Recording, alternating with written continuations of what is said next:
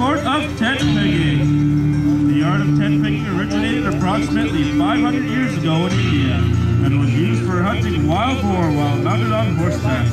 The Strathconas have used tent pegging as a regimental sport and training aid since their formation in 1900.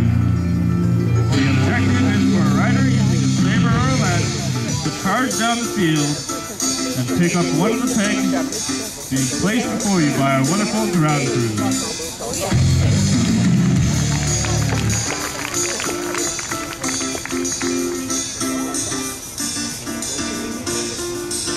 Ladies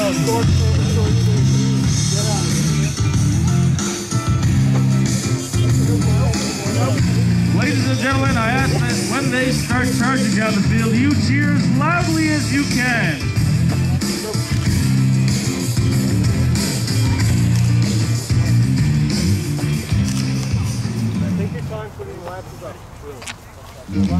Ten finger, single fall, by the right, canner, fire!